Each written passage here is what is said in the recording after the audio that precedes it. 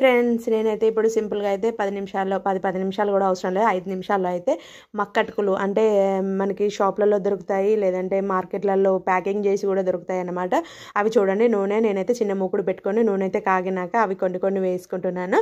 వేసుకున్న తర్వాతకి పక్కన పెట్టుకోవాలి. తర్వాతకి దానికి కొన్ని పల్లీలు కూడా వేసుకోవచ్చు.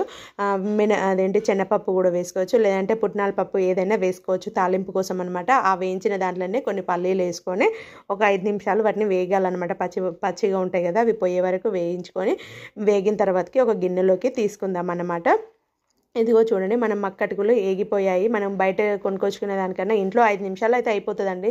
సింపుల్గా అప్పుడప్పుడు ఏమైనా తినాలనిపిస్తే ఇలా సింపుల్గా చేసేసుకోండి. కొద్దిగా కారము అంటే మనం తీసిన వెంటనే దానికి నూనె కొంచెం ఉంటుంది కదా మనం ఇంకేం అవసరం లేదు.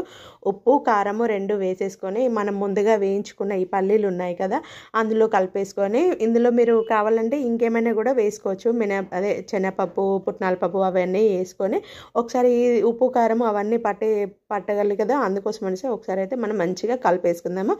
చూడండి కలిపేసుకున్నాము. తింటే సూపర్ అండి సూపర్ టేస్ట్. ఐదు నిమిషాల్లో ఇంట్లో రెడీ చేసుకోండి. Thank you friends